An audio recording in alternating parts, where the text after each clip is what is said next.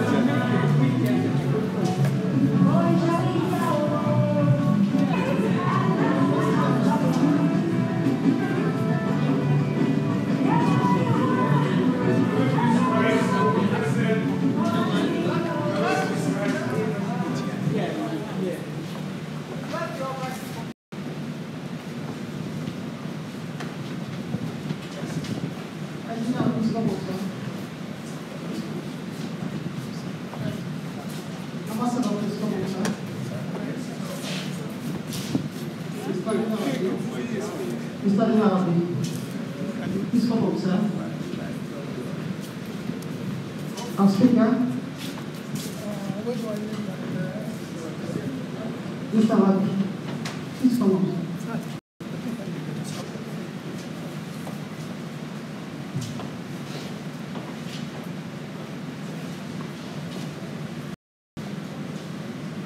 The hall seems to be a bit scanty. I'm very sure it's due to the rain. And in the next 20 minutes it will, be, it to the brim. But we don't like to delay it here. We start this program the national anthem of our great country, Nigeria.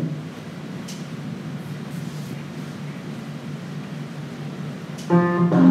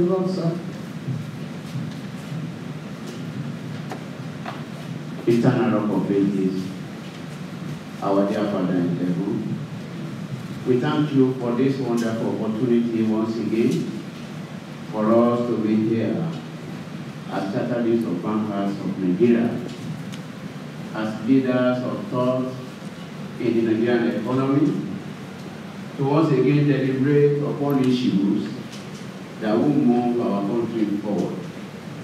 We commit everything unto your hand, our dear Father. Take absolute control of all the proceedings today in Jesus' name. We pray for those that are on their way. Lord, be with them so that they join us with you in Jesus' name. At the end of today's proceedings, Lord, give us every capacity to walk the talk, to implement all the noble, lovely ideas that will emanate from these discussions today, so that we'll be able to move our nation to the next level. We commit once again the leadership of CIBN on your hand. They need wisdom, knowledge, and understanding to do the needful so that our great institutes will continue to contribute to the Nigerian state. We thank you, our dear Father, for answer prayer. In Jesus' name we pray. Thank you, our immediate past president and chairman of council. While we remain, we, we get seated, I would like to recognize those in the auditorium. If I start to this side of the table, I'd like to propose to recognize the past president of this great institute, Mazi OCK Igegu, FCIB, we are most welcome, sir. Also, the man that has been Reverend Father, that has just delivered his speech, our immediate past president, Professor Segun Ajibola, FCIB. Next to him is the National Treasurer of the Institute, Professor Olanrewaju Pius. You have FCIB, are most welcome, sir. Therefore, as a team that manage the Institute, we have the Vice President and the second Vice President will surely join us very soon. Once again, everyone is very important in CIBN. You're highly welcome to the Bankers House. On my side, I would like to start with the Registrar and Chief Executive of the Institute, Mr. Sheya Ojobi, FCIB. Next to him is the representative of the Acting Director General of National Pension Commission, Mr. Ibrahim Kandiwa, and Investment of. You are most welcome, sir. Next to Mr. Ibrahim is no other person than the man that has seen it all in infrastructural development. No other person than Engineer Mansour Ahmed, FNS ES, FNI, Secretary Director, Dangote Group, and President and Vice Official of Nigeria. I will skip to three things. I'll go to the far end. The far is the person that actually coined this particular. Next to him is an impromptu, should I call him an impromptu person? Because he saw our advert when we sent an invite to him and he felt he just need to be part of this great event. He's no other person than the ambassador from the High Commissioner of the Federal Republic of Namibia to Nigeria, Ambassador Joseph. Next to him is, I want to believe should be a man of no introduction, which I want to be, to believe that is one of the persons that actually made this, a lot of people to be asking that they need to come to these occasions. I want to believe you know the person I'm talking about. Am I getting your buying? Yes. Who is the person, please? He's not that person, but the man we call by company. The Lagos Ibadan Express Road man. Please join me to welcome Dr. Wale Babalaki, SAN Next to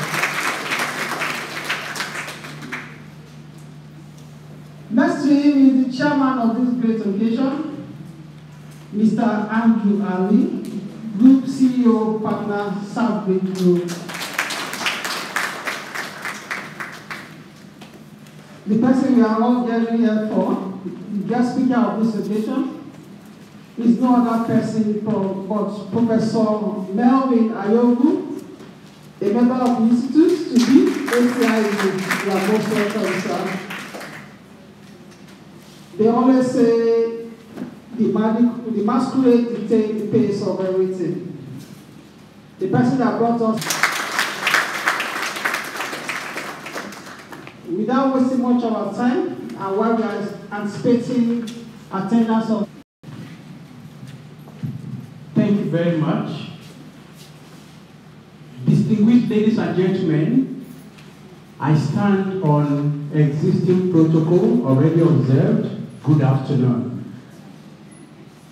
When we wanted to select this topic at the committee level, Research, Strategy and Advocacy Committee, we deliberated on so many issues and challenges that this country is facing.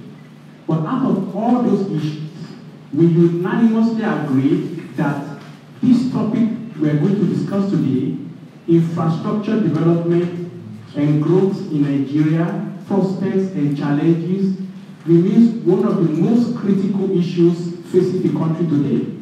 And when we presented it at the Governing Council of the Institute, again, it was unanimously agreed that the topic is actually very critical, the issue is very critical, and the recommendations that will come out of today's session will have a significant positive impact on the country.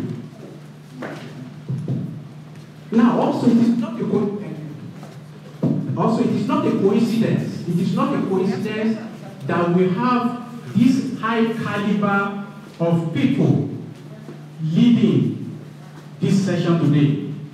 It is actually deliberate that we selected this caliber of people to come and lead today's session.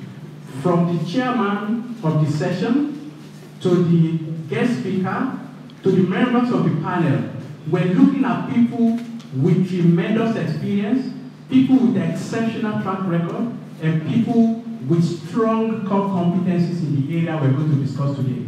For me, I just want to basically provide some high-level remarks and thought-provoking comments that I believe will jumpstart our detailed discussions for the session. If you look at research, extensive research has been done, and it's, it's been proven that there's a direct correlation between the level of infrastructure and economic growth. In fact, it, it has been further proven that there is a two-way relationship between the two, defined in terms of what they call the forward linkage and the backward linkage. In terms of the forward linkage, it's been proven that 1% growth in infrastructure should result in a corresponding 1% growth in the per capita GDP of a country. Then if you look at it from the perspective of backward, backward linkage, it has also been proven that infrastructure, when there's growth in infrastructure, that leads to the growth in GDP. The growth in GDP also engenders better infrastructure. And that explains why, if we look at different countries in the world, low income countries, middle income countries, high income countries, as we go, as we trend up, we discover that the level of infrastructure continues to become more sophisticated. So at the low income level, you have basic infrastructure requirements. As we move to the medium income, you have more sophisticated infrastructure requirements. And as we go to the high income countries, we actually have really sophisticated infrastructure requirements. So while infrastructure development engenders growth, growth also drives, from a backward perspective, infrastructure development. And if you look at the case of Nigeria, you take Nigeria as a typical case study, let me just quickly run through some statistics for one minute. Look at what has happened in Nigeria between 2016 and 2019 in terms of our GDP growth. Of course, we are aware in 2016 we had recession. We got out of recession in 2017. In 2017, we had what, what I would call like a taper GDP growth of around 0.8%, 0.8%. In 2018, it grew, grew from 2.8% to 1.83% GDP. And in the first quarter of 2019, we've seen a growth of around 2.01%. And it is projected that the annual growth for 2019, GDP growth for 2019 Nigeria will be around 2%. IMF projected that. The World Bank is less bullish than IMF. They believe that it's going to be less than 2%. What is the common factor, denomination that we have found across these three, years?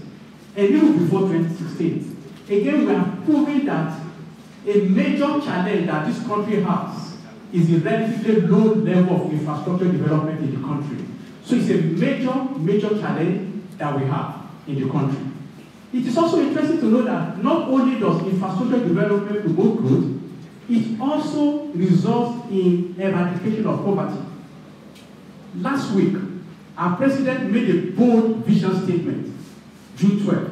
He said he wants 100 million Nigerians to be taken out of poverty in the next decade. But there's some historical precedent to that. If you look at some countries, China, Indonesia, even with autocratic regimes, they were able to achieve massive reduction in poverty. In fact, for the case of China, China took about 800 million people out of poverty in the 70s, and they're still planning over the next one year to take an additional 5 million people out of poverty. If you look at India, India is the largest democracy that we know.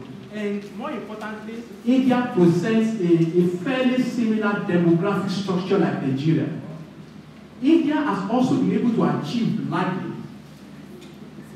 taking people, a lot of their people out of poverty. And one of the major reasons the Prime Minister Narendra Modi won re-election was because of the fact that he is perceived to have taken people out of poverty. So today, we, we, we are talking about the topic about the realization of the vision of the president. So, we believe that the vision is realizable, but we have to be strategic, we have to be methodical, have to be very deliberate about it.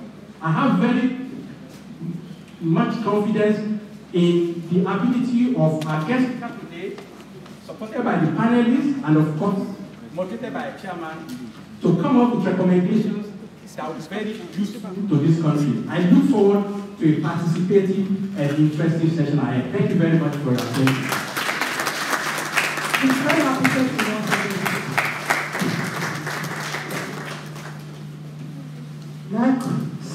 Of the President and Chairman of Council of the Chinese of, of Nigeria, Dr.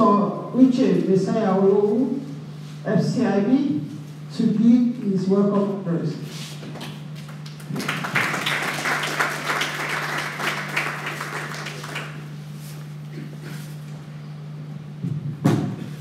Thank you, Mr. Africa. Uh, the National Treasurer of Great Institute, Professor Keji Olanrewaju FCIB, uh, the Registrar Chief Executive of our Great Institute, Mr. Shea Awojobi, our past presidency are present, um, MD of FSDH here, and our PAMSEC from uh, Ministry of Finance, Lagos State. Our members on the top table, our chair, um, our guest speaker, our members on the top table. Um, I welcome you all this afternoon. Distinguished ladies and gentlemen, it is with immense pleasure that I welcome you to the 2019 edition of the annual lecture of the Charter Institute of Bankers of Nigeria. Uh, one of our platforms for public policy advocacy and enlightenment program, which focuses on contemporary issues of interest in the Nigerian banking industry and nation economy as a whole. The lecture, as usual, promises to be interesting, engaging, and enlightening. This is evident in this year's theme titled Infrastructure Development and Growth in Nigeria, Prospects and Challenges. It is actually a rare, rare honor and privilege to be midst of banking and finance professionals, diplomats, academicians, captains of the industry, regulators and operators in the financial services value chain, as well as all the relevant stakeholders in Nigerian economy. I appreciate your making out time to attend yet another thought-provoking lecture institute. Uh, it's part of the range that you're here. Your presence is indeed a testimonial of your continuous support for the Institute's activities and the foundation of how much we hold this event in high esteem. The importance of adequate and reliable infrastructure cannot be underestimated as it engenders and supports economic growth and development. Indeed, reliable infrastructure is essential to sustainable economic development and competitiveness. Investment in the nation's infrastructure has been dismal. Nigerian core infrastructure is estimated between 20 to 35 percent of GDP, as opposed to global benchmark of 70 percent. The Economic Recovery and Growth Plan, which is a infrastructure-led growth strategy, is designed to bridge the gap with proper and sustainable execution. In the pursuit of this viable solution to this deficit, I humbly propose the need for further integrated regional development policies that will provide greater access to viable sectors of the Nigerian economy. Our guest speakers, ladies and gentlemen, and eminent panelists have been carefully selected in their own rights as subject matter experts, academicians, and captains of the industry. I'm optimistic that they will bring to bear their experiences to shed more light on the topic and thus add value to this knowledge event. Professor Melvin Ayogu, ACI, a fellow of Mapungubwe Institute of Strategic Reflections on Africa, a distinguished scholar and accomplished professional, is our guest lecturer for today's lecture. I would also like to welcome one panelists comprising Dr. Wale Babalakin, ACI, and chairman of the Iconic Group, and Pro-Chancellor, Chairman, Governing Council of University of Lagos. Also, we have uh, representing Adia Aisha Dahir Omar, the acting uh, Director General of National Pension Commission here. Also, uh, the managing director, uh, Engineer Mansur Ahmed, Executive Director of Dangote Group and Chairman of uh, Manufacturers Association of Nigeria. It's also important to, for me to recognize the efforts and applaud the committee of the planning, the commitment of the planning committee of the annual lecture, as well as the research strategy and advocacy committee, ably led by the chairman chairman and council member, Mr. Billy and the FCIB, for making this event a reality. Let me assure everyone here that this lecture is not simply a talk show. The recommendations and insights availed at this gathering will be documented and modeled as a policy paper which will be circulated to the appropriate authorities and stakeholders of the economy. Distinguished ladies and gentlemen, I welcome you all once more to this important event and wish you an enlightened, enlightened session. Thank you for kind attention. God bless you all.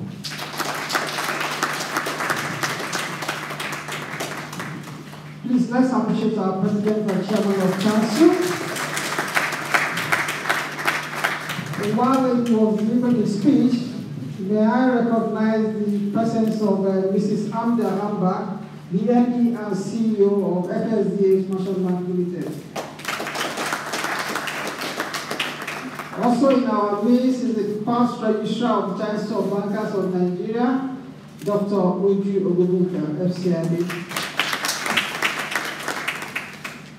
I would like to call on a member of the RSA committee of the Institute, in person of Professor Franklin Ngwu of Lagos Business School, to talk about the speaker before the speaker comes on board. Thank you.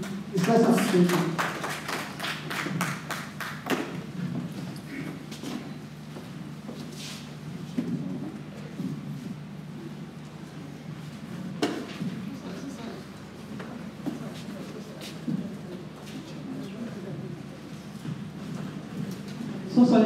there's a slight mix-up.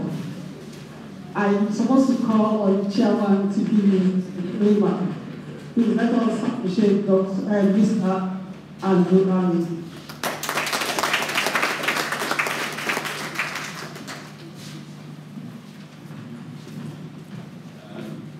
Good morning, uh, ladies and gentlemen. Um, sometime last year, I was uh, honored to be given an honorary membership of uh, this uh, august uh, institution, and I guess that this is my um, payment uh, for that. But I'm um, I'm very pleased to be here um, because infrastructure is uh, something that I've spent probably about the last 20 years of my life, uh, one way or the other, uh, trying to uh, push across Africa. Uh, over that period, I probably uh, invested something in the region of, well, over $5 billion directly, mainly through AFC, but also what I did with IFC. Um, now, uh, that sounds like a very large number, and it is.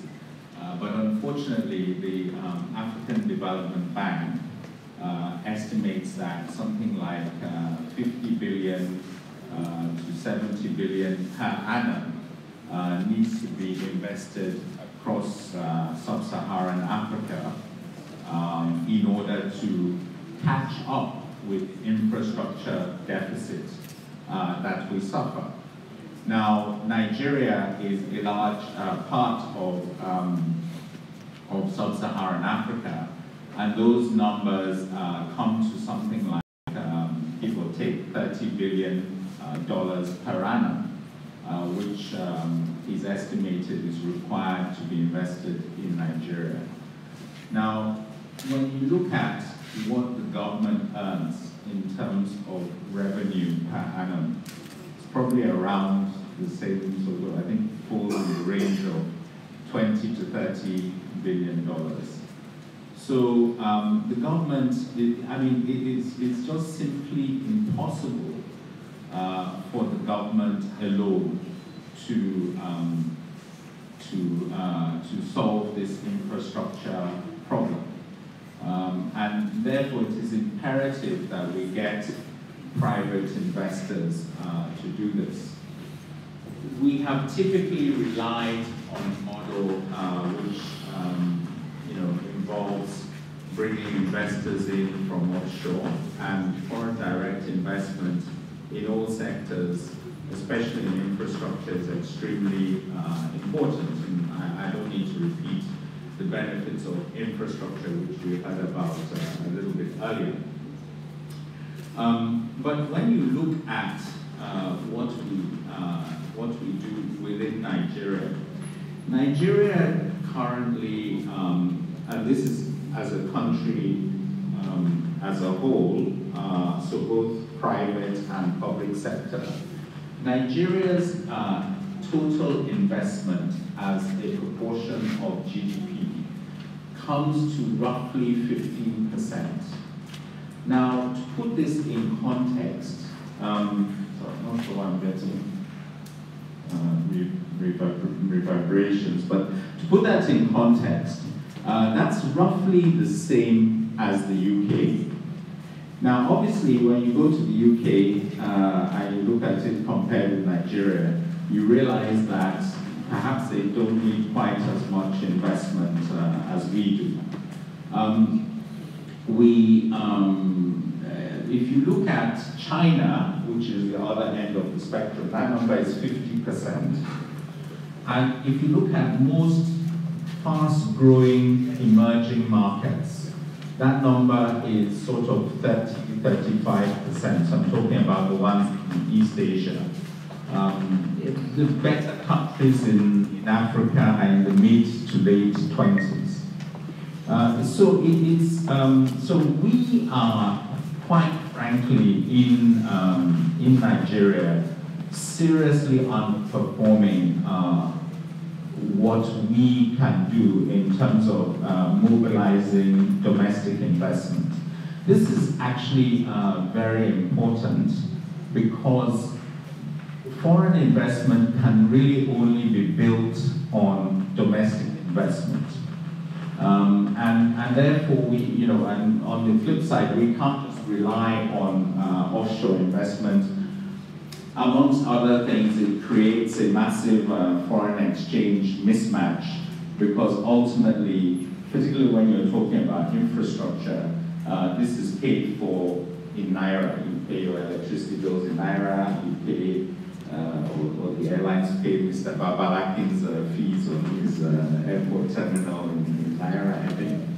Um, so, so we need to figure out how we can uh, mobilize more domestic investment generally, not just in infrastructure. And those numbers I gave are all investment, not just infrastructure investment. And in that sense, it's, it's very good uh, that we have someone representing PENCOM here uh, because um, I think that those numbers that I just gave would be absolutely dire if we didn't have uh, the, the pension uh, scheme that we have, which is essentially a forced uh, savings scheme. Um, so I think that's on the one hand. Um, and I, why I say all this is that one, um, you know, there hasn't frankly been a lot of private investment into infrastructure in the last uh, decade or so. Um, you know, there was uh, the, the, the, projects that Bi-Courtney has done.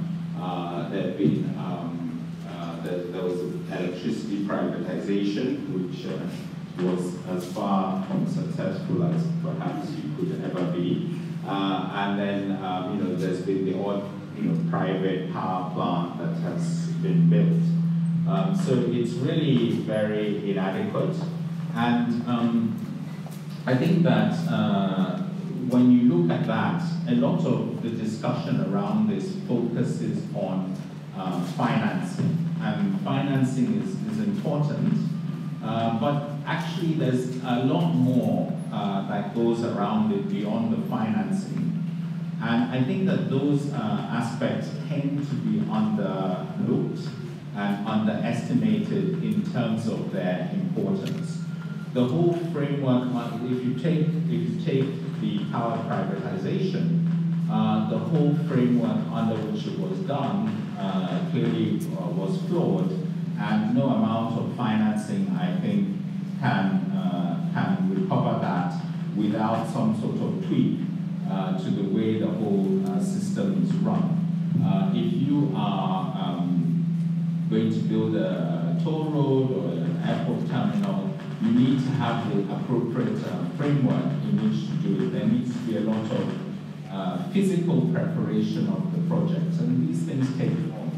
In Africa, the average uh, time from conception to realization of a power project is well over 10 years. I mean, you know, I remember hearing about Mambila Dam. I can't remember how long ago. I'm not sure the project is even is even completed now. Um, so, so, you know, we are bankers this institute, um, so I guess the focus is on financing. And the financing aspect is, is very important, in particular, um, the need for long-term uh, money. I mean, again, uh, as we all know, in you know, for various reasons which I don't want to go into, um, uh, it's very hard to get anything more than you know five, seven year money. Uh, you know, in terms of the term loan from a bank, if you go to the bond market, maybe you can get a bit more. But really, getting anything above 10 years, if you're not the government, is you know a Herculean uh, task, which then drives people to borrow in dollars. One of the reasons, and then they have these uh, foreign currency uh, issues. Um, so, so that is clearly a very important aspect, and, and you know, you need the money, you need the financing to be able to these, uh, infrastructure. I think tied with that, and, and the last point to, uh, you know, different people blame different other people for why we are where we are. Uh, I'm not getting into that debate, but if you talk to somebody in a disco, they will tell you that often they're being supplied at, with power at a price they have to pay, which is more than uh, to see these things accessible uh, to everybody. And we feel that making the prices as low as possible uh, does that. Uh, but it does that in an unsustainable uh, manner. Uh, and again, you know, I, I, I don't like to overflow these parallels, but when we had um, mobile phones in this country, they, they allowed them to raise the funding to be able to invest in the networks that we all uh, enjoy today. So I think these are just some of the issues that face um, uh, that face us as we develop uh, infrastructure. Um, we have the, His, uh, His Excellency, uh, the Ambassador, the High Commissioner, I should say, from, before I get uh, the diplomatic incident.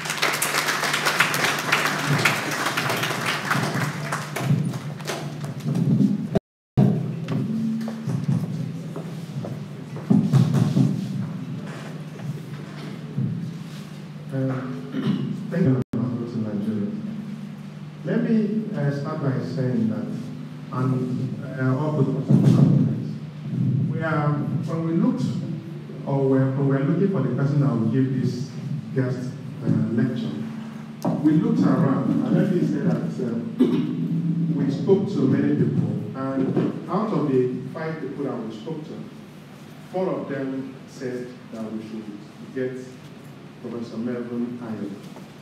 And the last person we spoke to um, is a reverend gentleman who is very fast in economics and other.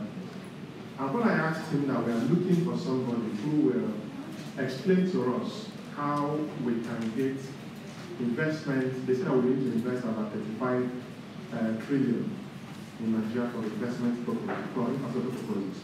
And the Reverend Father told me that we should go and talk to some Melvin Ayogu. And I told him, did you understand my question? He said, he just finished praying and he's in the spirit. So the right person to give this talk because of Melvin And as I read his profile, you will agree with me that we couldn't have got a better person than the person we have. You know, there was a time that we were looking for an external examiner give me a wrong message. He said that some people don't send their CVs, that their profile is public knowledge. So that if I want to know about him, I have to check, check, check him out. And truly, when I checked him out, I called him back and I apologized for asking for his CV. But in the case of Professor Ayogu, he's one of those people that has, has done many things outside the country, but in, within Nigeria, he's been very, very quiet because and continue to contribute and help us to get. So ladies and gentlemen, let me present to you Professor Melvin Ayogu, ACIB. He has a PhD and is currently a visiting fellow in residence at Center for Public Policy Alternatives Lagos. Previously, he was the director of the Medical MBA program and a visiting professor of economics at the School of Business Administration, American University, Sharjah, in the Arab Emirates. He's a fellow of the European Institute of Public Reflection, Johannesburg, South Africa, and adjunct professor of Cape Town. He was a Rhodes Visiting African Scholar at Oxford University in 1995, visiting scholar at the Center for International Development, and senior Rockefeller University Institute Fellow at Harvard University in 2000. Professor Ayogu has been an associate of Students of Financial Services London since 1979. And recently, beautifully, he serves his elders as well as the student director and work of local in Nigeria. So, Mr. President, the registrar members of the High Table, ladies and gentlemen, please let's welcome Professor Melvin Isaac.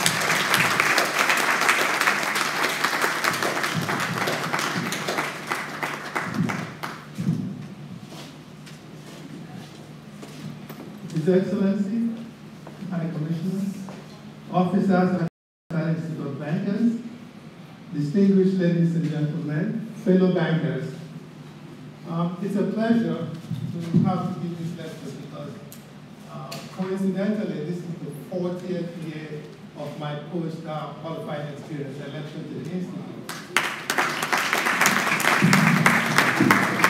I guess to say something about my age, but that was because when I finished high school, I did not go to the university. Um, I got a job at uh, Standard Bank of West Africa, which became Standard Bank of Nigeria, and then First Bank. And at the time, I actually started working as a junior clerk because there was no position for a clerk. Even though I had a high school diploma, I said, I'll do anything. So um, I got into the bank, and then I started taking the ACIB exams. Rapid Result College London. And, and after I got my ACIB, then I went back to school to the US in 1980. I quit banking and then went back uh, to the university. So when you're my age, your CV tends to get intimidating. It's a matter of age, you all get there. So uh, there's nothing special about it. Um, now I spend more time in the village, and I hope I don't become an Igwe because one of my friends said, and you start wearing the peteli, it's like what the other meaning wears, and how about that? So I said, I think that's a deal breaker. I don't think I'm going to go that far. But I take interest in the government at home because it's simply a microcosm of what happens at the federal level. I think we get, as they said, after you divide in the kitchen, then you divide at central. So even the fights and those um, same transactional issues become central to issues of investment, particularly long-term investment. Now, to the substance of my thing is by name, but infrastructure is a big elephant, and uh, it requires an integrated approach to get it right. And very often people don't realize that. And I'm hoping that our discussions uh, this uh, afternoon will open us up to the way in which you can, um, if that's due to ignorance, and others are due to simple uncertainty, because those things permeate the area of infrastructure. There are known unknowns. There are also known knowns, and there are also personal agendas. So when they all come together, sometimes it's very difficult to understand why what is happening happening. Also why the, the reason why context is very important. So um, what I'm going to do, to be a uh, but before I do that presentation, let me give you a little bit of context on infrastructure.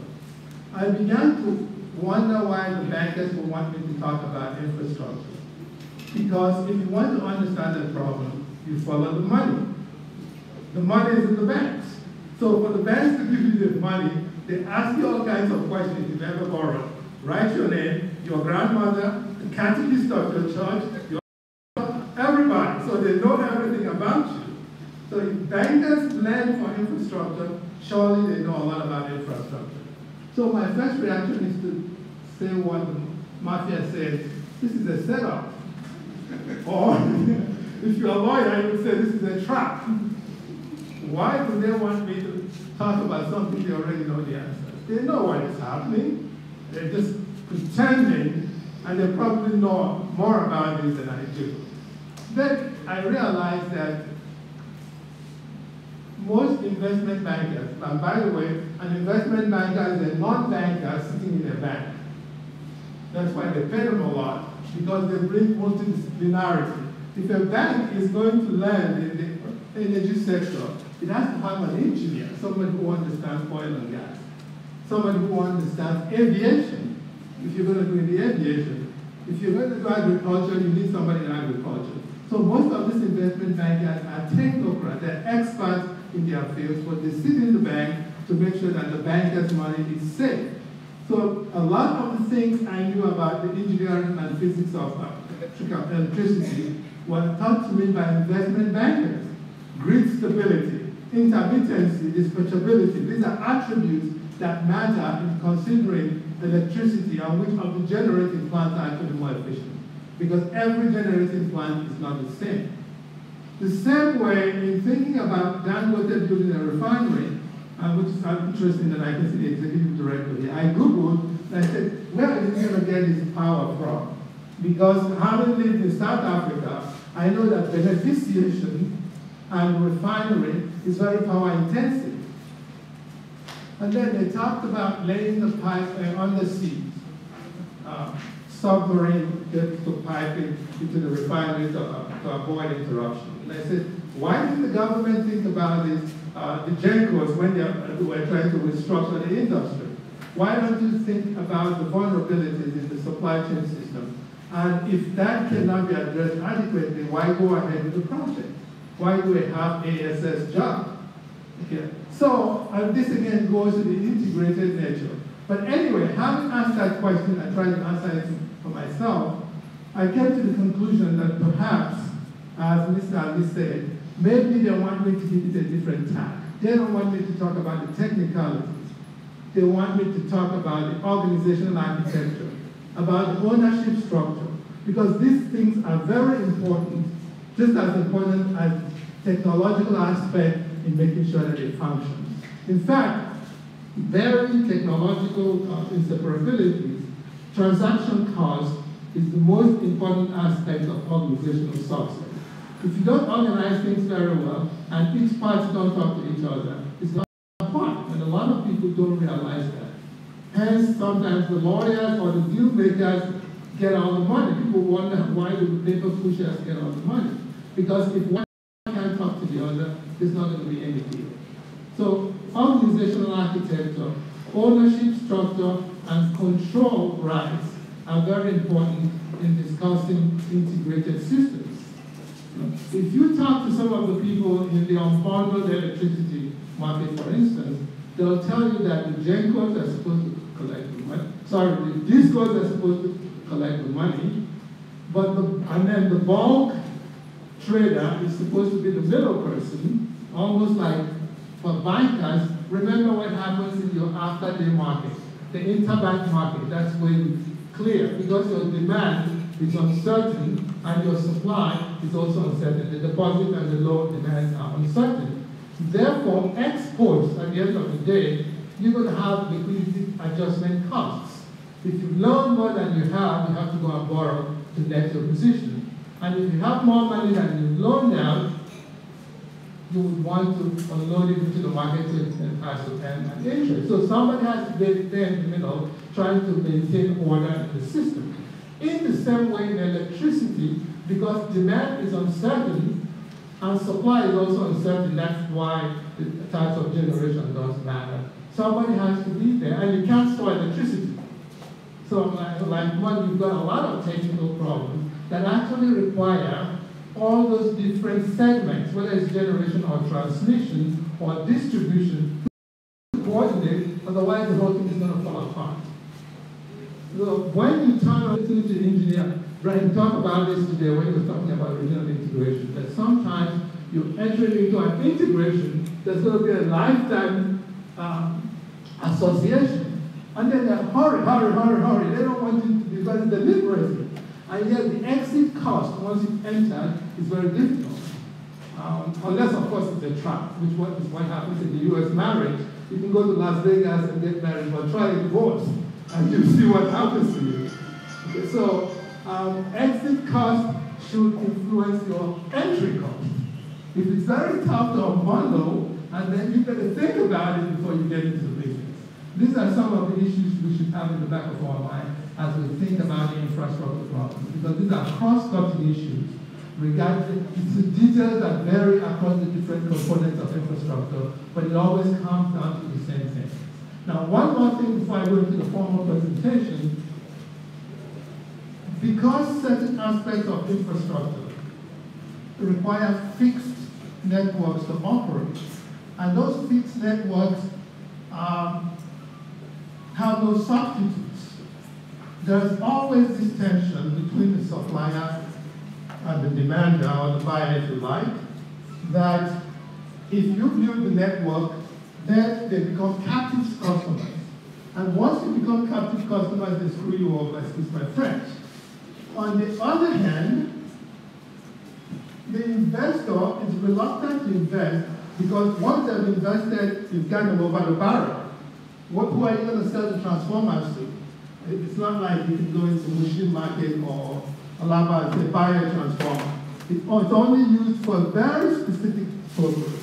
So even for a bank to petition to wind up the asset of a distribution company or a generating company, there's not much value in that asset. So you don't want to wind them down, you want them to be successful. So those kinds of investments are very risky. Yeah. And therefore, once they've trapped you into investing, they can actually mess you up. It's called post-contractual opportunism. So it's almost like a game. You know, everybody's looking at everybody, And therefore, trust is very central in this kind of long-term relationship. And the credibility, whether it's of the government, the regulator, the investors, or even the consumers. It's a very complex interaction and one that requires lots of thought in trying to unravel that. That's just one of the takeaway things I want you to bear in mind as we discuss infrastructure. It's cross-cutting. It doesn't matter whether you're applying to water, to electricity, to telecommunications, to airport facilities, to seaport. Anything that requires long investment over a long time. And for bankers as well, the mode of finance, the structure of financing for infrastructure is very uh, unique because otherwise you're going to confront the problems of balance sheet mismatch.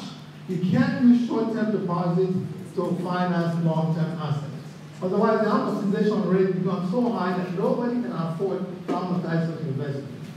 Okay, so even the pressure from the investors, as well as the financing institution and the nature of the investment should be taken into account carefully before embarking on that investment. Therefore, if you do it in a knee-jerk, eventually you're going to run into serious problems.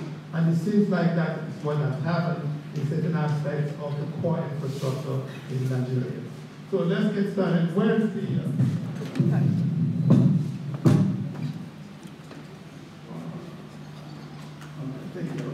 So um, the role, my uh, the presentation is divided into four parts. The last two is easy. The first is the role of infrastructure, which is very clear. In fact, I called um, Mr. Abbas this morning, and I said, I've got an amphibious craft, and I'm, because I don't want to swim to your institute. If you drive through Adeola Hopewell, you either have a 4x4, or you get a kayak so you can swim, or you get a rainbow. So this is infrastructure in practice. I don't have to give any empirical evidence. You just step across the road in your suit and um, try walking around the road and you'll find out the problem with infrastructure where it's important. Uh, in fact, I tell people that what happens, you go to Lekki, uh, and this is Wayo, if you excuse my language, Wayo drainage, because it just goes around your house, but it doesn't drain to anywhere. So you're compliant because the architect said we're giving you drainage but it just settles your house. So you're sitting in your own cesspool. You know? And then when it rains, you step into it.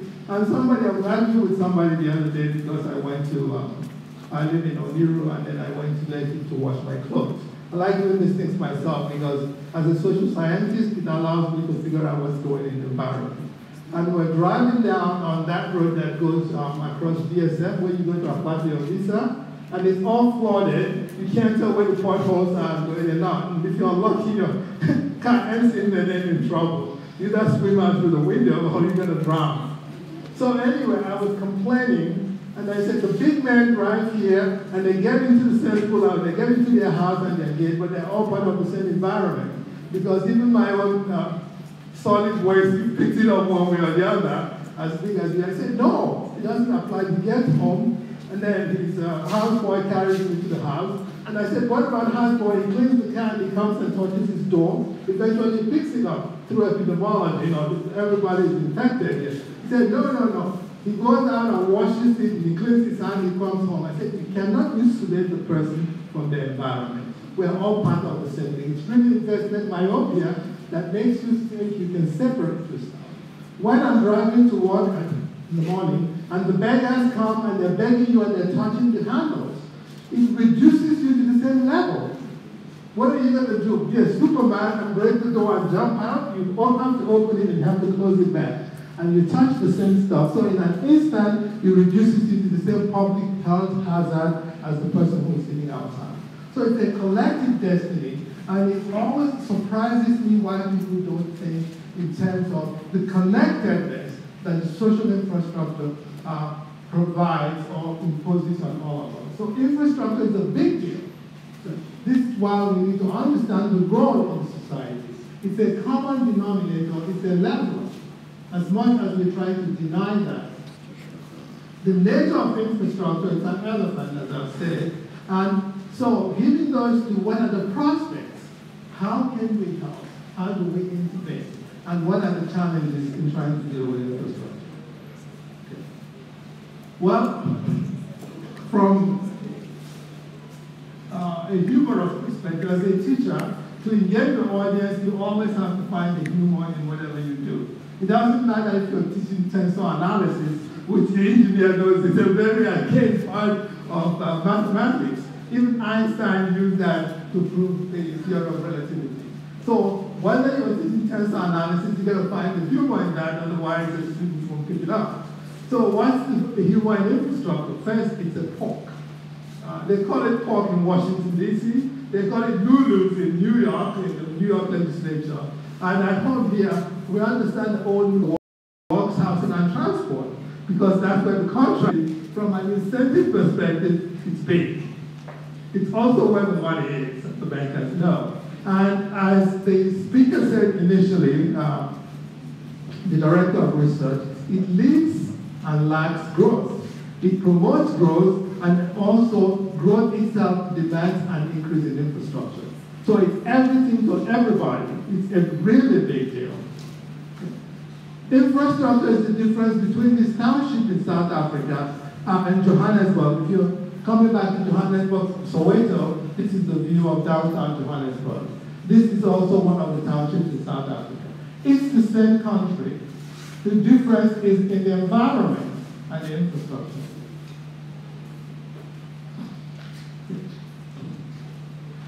This is one of the towns in South Africa. This is the toilet. This is the post-apartheid. This is at least they're trying to, improve it. So this is the post-apartheid um, um, toilet that building in some of the squatter settlements.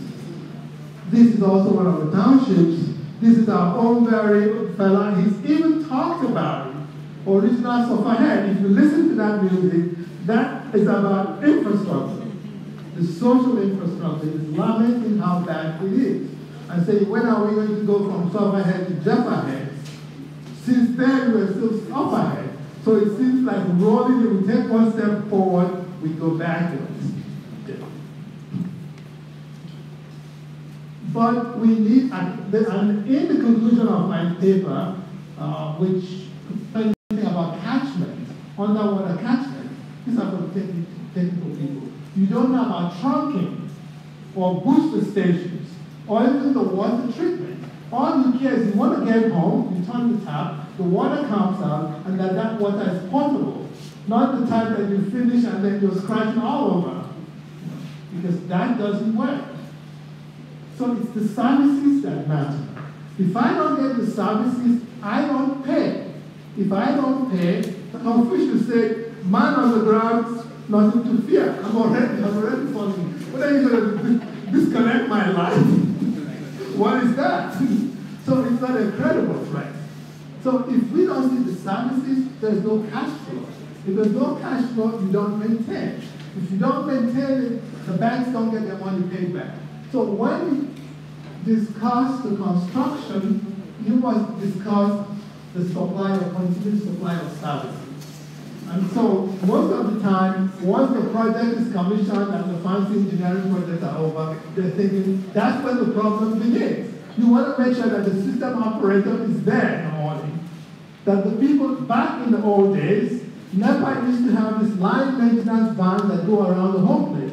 Now it's even easier with electronics and smart grids. You can pinpoint where it is actually so you can fix it. In the old days, people had to stay on the job 24-7 for it to work. So that is the highest part of infrastructure, the sustainability. Okay, that's where management also becomes important and incentives. Okay. This is, again, this is in South Africa, people were up in arms about infrastructure services. Okay, and that's so serious that the riot police, uh, President Mbeki at the time was going around trying to find out what was happening in the municipalities. This is my local government. And it wasn't my infrastructure, this is just a pacified. But this is the kind of, is, in, in in South Africa, they fight over infrastructure. Over here, we fight over party affiliation, rather than holding government to account. And I wish this show here a big deal infrastructure. It defines our livelihood and who we are. I don't care how many cars I have at home. As long as I step out of my house to open sewage, it doesn't matter. It reduces me to the same level. And I don't understand why people can't see things from that perspective. By the way, uh, this is just a quick digression, because that's how far I've come in my study of infrastructure. In the first, my foray into infrastructure was actually in 1995-96, where President Buhari coincidentally was the chairman of PTF. And Nigeria was abuzz with uh, Vision 2020, some of you remember. And I asked myself, suppose somebody was to, when I remember because I was doing the Zangon Kataf uh, problem and they provided us endless transition. They had all those local government uh, structures that were building at the time. So that was when I came back and I taught at University of Jos until 1999 before I left for South Africa. So at the time, I, I had a back on this infrastructure study to say, what if the PTF may be used to produce infrastructure?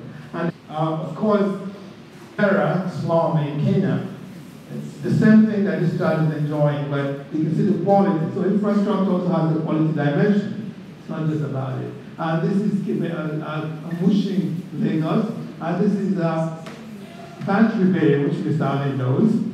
And the difference between these two again is the quality of the infrastructure. This is environment. So yeah, so as he said, as um, engineer Ahmed said, wait, that's what we do, we suffer, some suffering and smiling. He said it, and that's why the young man smiling over here. So had set it up, and almost like he's very visionary down the road. Everything he said is what's happening. The young man is smiling, and he's sitting in the middle of the garbage here at his home. Um, nature, so that's the thing about the role of infrastructure. It should be clear to everybody that it's a very big deal. And therefore, I thank you once more for making it the uh, subject of your uh, discussion in this annual lecture. Okay. Um, first, given the nature of infrastructure, it requires an integrated approach in thinking about infrastructure, or what you call system analysis. Why? Because water, for instance, if you have water, but you can't access it, it's of no use to you. If you have schools, which is basic infrastructure, but there's no road to go to the school. In South Africa, when they were discussing about the constitutional requirements for water and schools and roads, and I had done some work for the uh, Fiscal Commission about what is a school, what is a rural health, and the question was, what is a school if the children cannot get to school because the bridges are not there? If it's flooded, like it's over here, and surely you have to walk your child to school, otherwise it might end up in the gutter and the flood will carry him or her away. So it's not enough to build a school without giving the access to that facility. So it's an integrated plan. You go and build a school, there's no road, there's no safety and security going to school, if the kids are going to get kidnapped going home, then I don't have a school because nobody's going to go there. If you have clinics and it's OS, as the Buddha said, everything is out of stock. Now, what kind of dispensary is that? Nobody will go because it's simply an empty building. If you have schools without